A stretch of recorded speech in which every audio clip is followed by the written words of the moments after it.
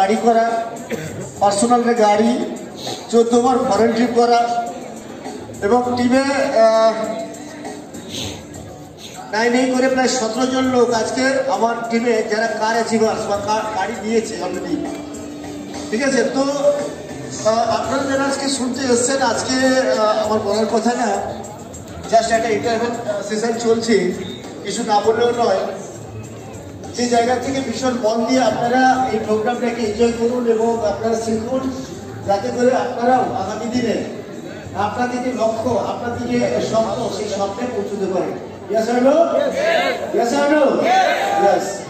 কেন কি একটা জিনিস আমি ফিল করেছি প্রেস্টিজ এমন একটা কোম্পানি এমন একটা প্ল্যাটফর্ম যেখানে প্রত্যেকটা মানুষ হান্ড্রেড বা থাউজেন্ড পার্সেন্ট গ্যারেন্টি সাকসেস পাবে যদি সে ফিল্ডে কাজ করে Yes or no? কাজ করতে হবে কেন কি একটা হিন্দিকা হিন্দিতে একটা সাজি মানে কহাবত আছে যে লড়না তুঝে পড়েগা Yes or no? लड़का तुझे पड़ेगा जो लड़ेगा जो आगे बढ़ेगा जो नहीं लड़ेगा आगे नहीं बढ़ेगा यस और नो यस और नो ये है संग्राम ये है जिंदगी क्योंकि जिंदगी में अगर- हम लोग अगर संग्राम नहीं कर पाएंगे तो हम लोग आगे नहीं बढ़ पाएँगे। और नो हम लोग को आगे बढ़ना है तो हम लोग को संग्राम करना है। है कि ना? दो से पाँच साल संग्राम जैसे सिद्धार्थ सर किया था मैंने वो हिसाब से हम लोग अगर संग्राम करते जाएँगे ना हर कोई इंसान हम लोग जो बैठे बैठ के ये प्रोग्राम देखा है ना सब कोई हम लोग सक्सेस बन सकते हैं। यस और नो आप लोग चाहते हैं ना? आप लोग चाहते हैं ना? यस क्योंकि हम लोग जो फैमिली बिलोंग करते हैं ना हम लोग मिडिल क्लास फोर क्लास यस और नो एक ही रास्ता है।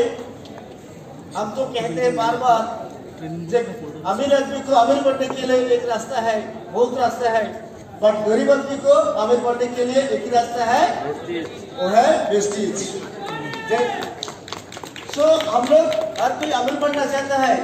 जैसा नो हम लोग अभी जो अ, शु- शुरुआत में है ना মানে এখন যে আমরা সিচুয়েশনে বিলং করছি এবং নেটওয়ার্ক ইন্ডাস্ট্রি আগামী ফিউচার মানে আমি তো বলি এখানে যারা একটু পেশেন্স দিয়ে থাকতে পারবেন পাঁচটা বছর এখানে প্রত্যেকটা মানুষ কোটিপতি হবেই হবে মানে কোনো মানে কোনো কথা ভুল হবে না কেন কি এটা নেটওয়ার্কের সময় এক একটা সময় কিন্তু আমাদের মানে এক একটা সময় কিন্তু এক একটা যুগ কিন্তু এক একটা ইন্ডাস্ট্রি এক একটা বিজনেসের সময় এসেছিল।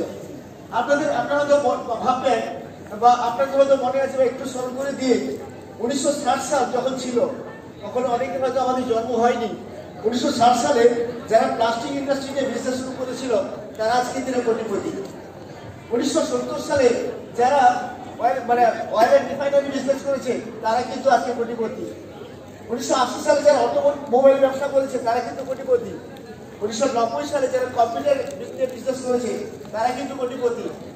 আর দু হাজার আনওয়ার্ডস আমরা যে সময়ের মধ্যে বিলং করছি, এই সময়টা যদি আমরা নেটওয়ার্ক ইন্ডাস্ট্রির সঙ্গে থাকতে পারি, তাহলে কিন্তু আমরা আগামী দিনে কোটিপতি এবং সেটা বেশি দিন সময় লাগবে না। ম্যাক্সিমাম দু থেকে পাঁচ বছর সময় লাগবে। কি আপনার হতে চান আপনার করতে চান আপনার করতে চান यस और नो दिल से काम करना है अगर आपको ये करना है तो दिल से काम करना है दिमाग मत लगाइए दिल से काम करना है प्यार से काम करना है यस और नो ये बोल के मैं अपना बात खत्म करते thank you so much and